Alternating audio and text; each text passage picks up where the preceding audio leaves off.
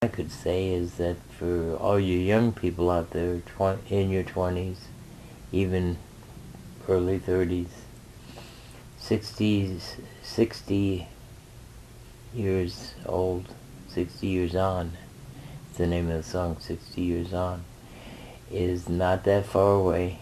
And if you kind of keep that in mind, then in the next 30 or 40 years you're going to have a lot of ups and a lot of downs, and you'll get through them all.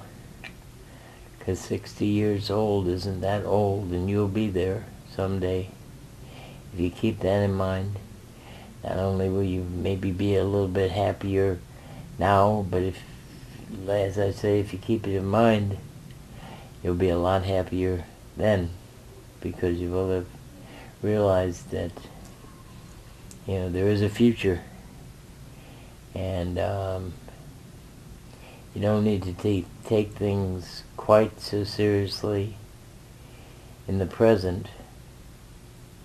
And you don't have to completely forget about the future. Because there will be one. And you'll get through just about everything. Well you get through everything. But uh, anyway this is Elton John's 60 years on, and it's it's a beautiful, beautiful song. It, it's nicer on the piano, but here goes.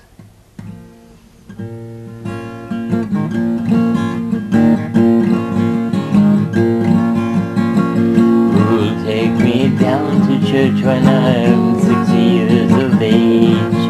When that ragged dog they gave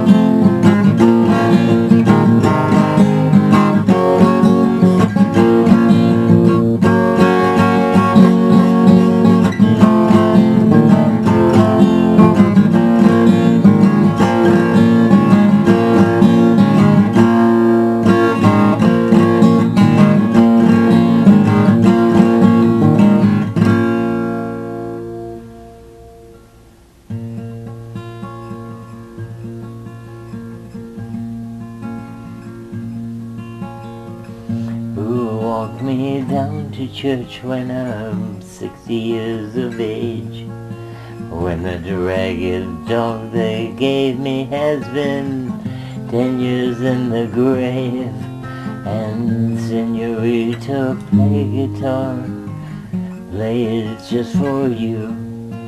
My rosary has broken and my beads have all slipped through.